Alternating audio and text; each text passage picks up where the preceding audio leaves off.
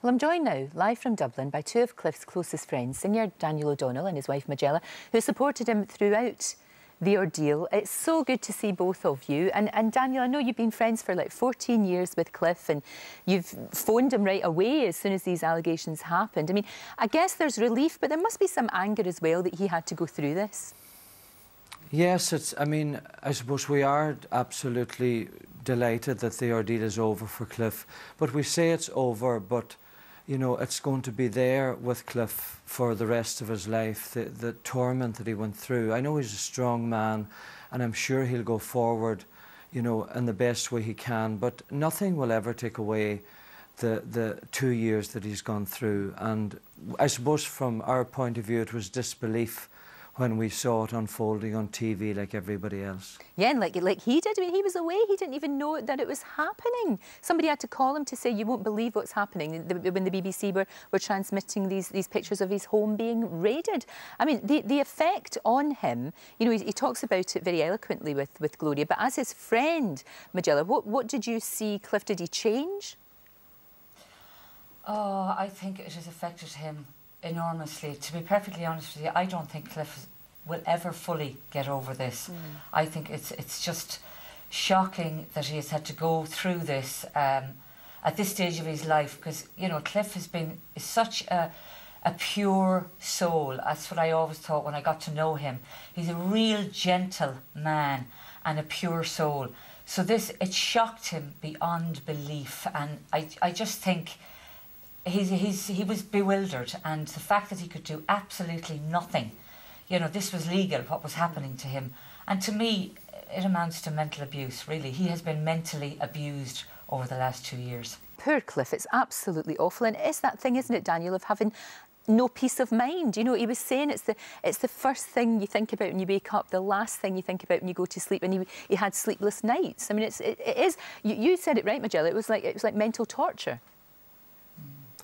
Well, you know, he's he's done so much for so many throughout his career. I mean, we've only seen, I suppose, the public things, but he does so much privately as well. You know, just to to make people feel good. And I think that that was one thing that he just couldn't understand that this was happening. And I suppose the the what should come out of this is that, you know, until somebody is, you know, that there's a case there. Yeah, until they're charged. Yeah Yes, I mean, we're never, and Cliff would, I'm sure, be the first to say mm. that any uh, uh, accusation, uh, you know, anybody that's accused Absolutely, should be yeah. investigated. Mm.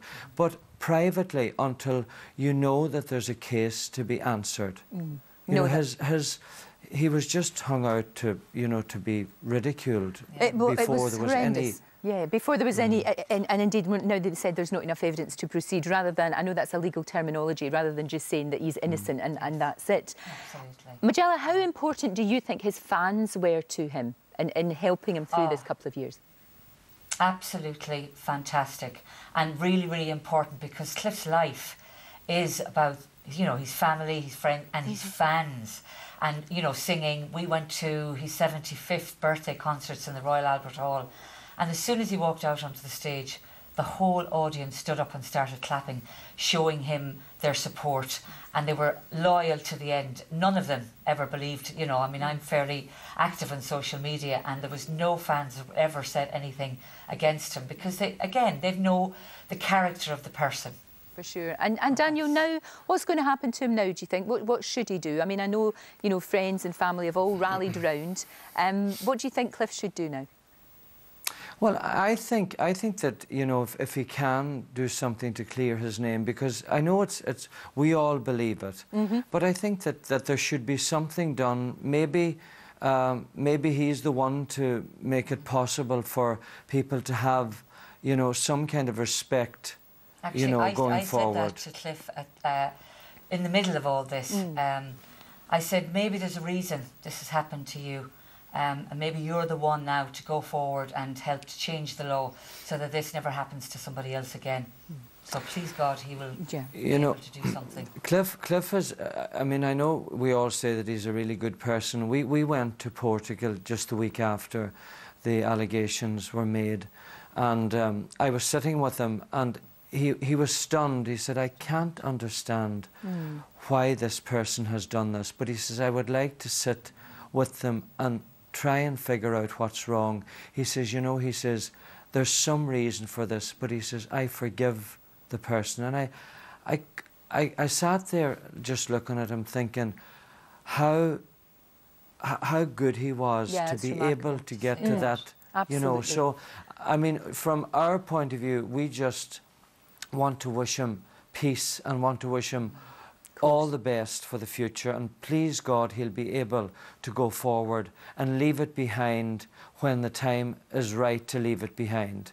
And know that those that matter to him supported him and believed him all the time. Well, Daniel Majella, thank you so much for joining us this morning. Really appreciate it.